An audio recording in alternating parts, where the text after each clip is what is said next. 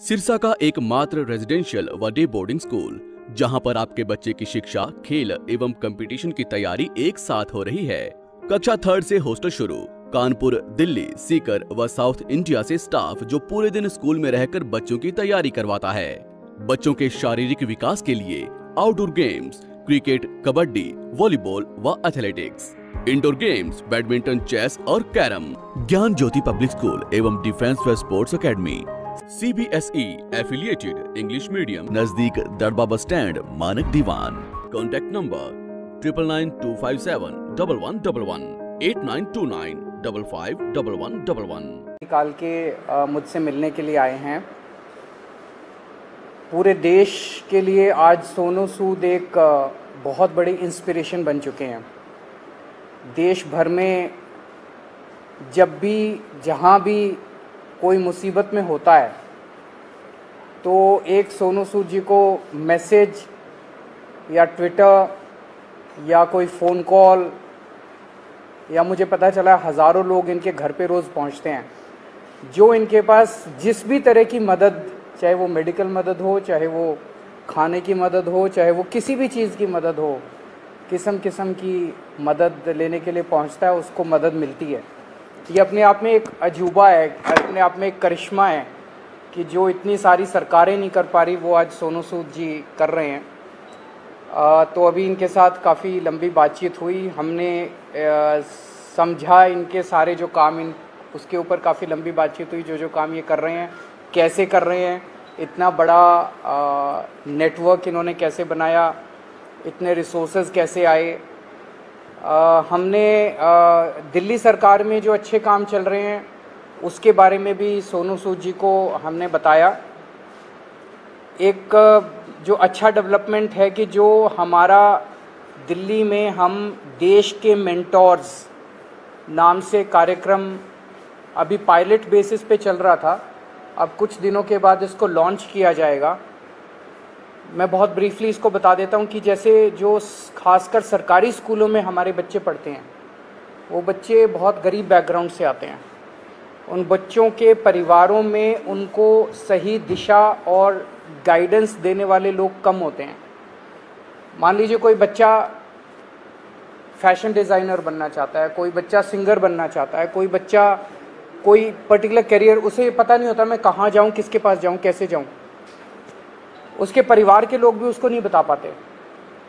ऐसे में हम लोगों, हम लोग अपील कर रहे हैं देश के लोगों से, जो पढ़े लिखे लोग हैं, कि आप आइए, सामने आइए, और सरकारी स्कूल के एक, दो, तीन जितने भी आप बच्चे ले सकते हैं, आप उतने बच्चों को, के मेंटोर बनिए। तो उनसे आप लगातार फ़ोन पे बातचीत करते रहिए, उनको फ़ोन पे आप गाइड करते रहिए, बच्चे आपको फ़ोन कर कर के पूछते रहेंगे। और कई बार बच्चे स्ट्रेस में होते हैं। हमने देखा है कि इस वाले एज ग्रुप के अंदर सुइसाइड्स भी बढ़ते जा रहे हैं। स्ट्रेस में होते हैं इमोशनल स्ट्रेस में होते हैं। तो अगर उनके साथ कोई है जिसके साथ वो मन हल्का कर लें तो वो बड़ा उसका आ, अच्छा इम्पैक्ट पड़ता है। तो देश के मेंटोर कार्यक्रम के लिए सोनू सूद जी हमारे ब्रांड एम्बेसडर बनने के लिए तैयार हो गए हैं जिसके लिए मैं उनका बहुत बहुत शुक्रिया अदा करता हूँ। उन्होंने कहा है कि वो भी कुछ बच्चे बच्चों के मेंटोर बनेंगे और वो लोगों को अपील करेंगे देश भर के लोगों को कि वो भी मेंटोर बने। अब मैं सोनू सूद जी से रिक्वेस्ट करूँगा कि वो। Thank you so much Arvind sir uh, sir Raghav भाई for giving me this opportunity कि आज मैं uh, इस प्लेटफॉर्म के पे हूँ। विजनरीज के साथ मैं uh, सर को विजनरी इसलिए बोलता हूँ कि जब एजुकेशन का नाम आता है तो देश में दिल्ली का नाम हमने हमेशा देखा है कि अगर एजुकेशन हो तो दिल्ली जैसी हो।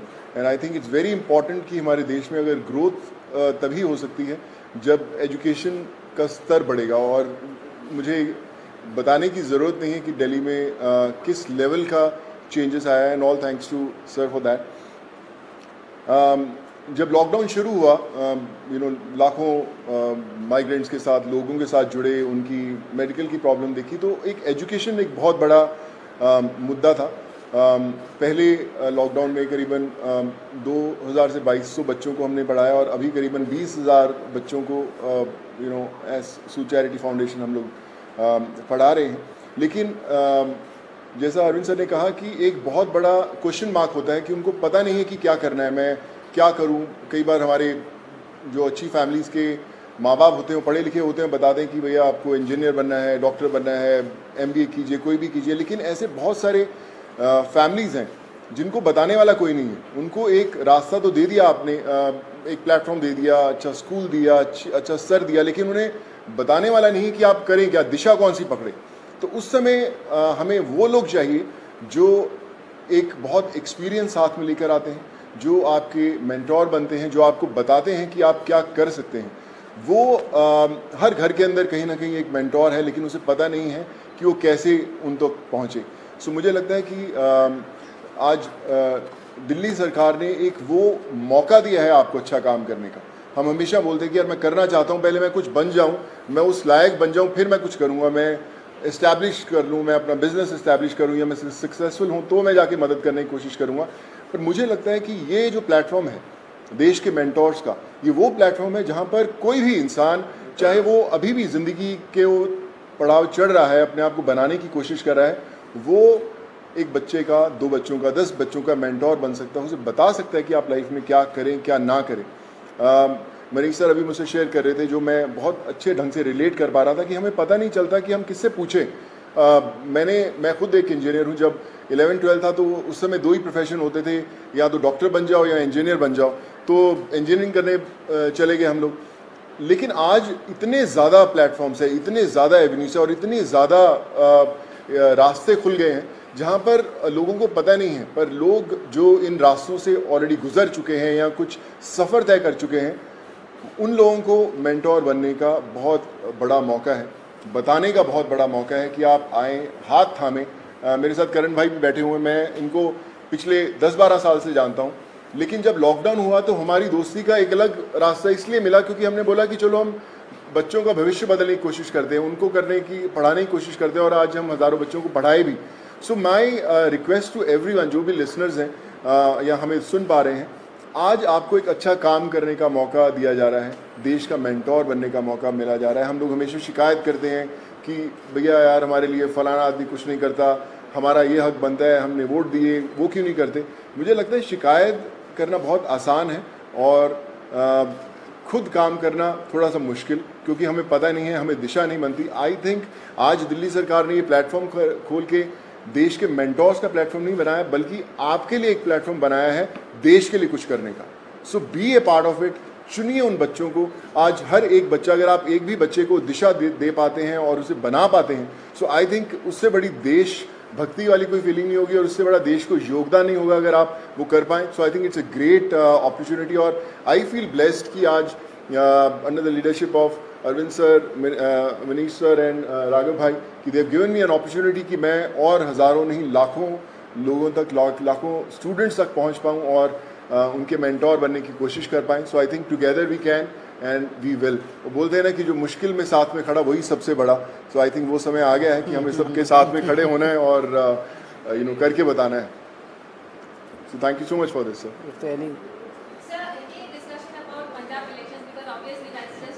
no पॉलिट कोई पॉलिटिक्स डिस्कस नहीं किया uh, ये ये उससे भी बड़ा मुद्दा है। मुझे लगता है इससे बड़ा कोई मुद्दा नहीं हो सकता जी। Uh, जी सर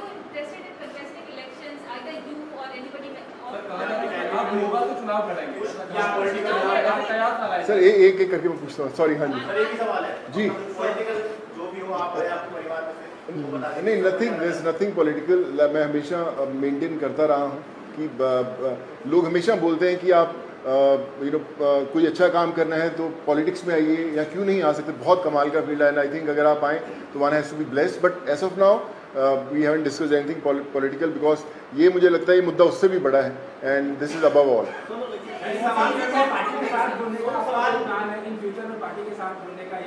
Punjab चुनाव आ रहा है, वहाँ पार्टी के लिए बनने like I said, you know, we haven't discussed anything political. Uh, हम इसी में इतना मज़ा आ रहा था बात करने में कि यार ये करें तो जी सर?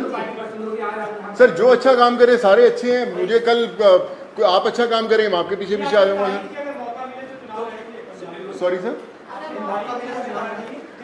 सर मुझे ना मैं मैं बता रहा हूँ पिछले जब मैं मैंने मुझे पता भी नहीं था पॉलिटिक्स तब से मुझे यू नो ऑफर्स आती रही हैं लेकिन मैंने कभी सोचा नहीं आ, करने का और किसी कभी पॉलिटिकल डिस्कस नहीं किया।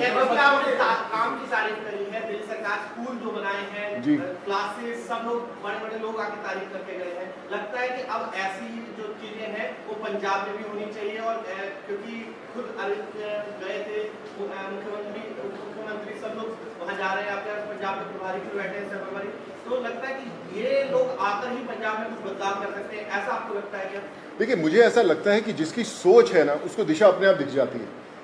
और- जो अरविंद सर की लीडरशिप में दिल्ली में हुआ है वो किसी को बताने की ज़रूरत नहीं वो सिर्फ़ एक्सपीरियंस किया जा सकता है। और मुझे लगता है ना सिर्फ़ पंजाब देश के हर कोने में होना बड़ा इंपॉर्टेंट है।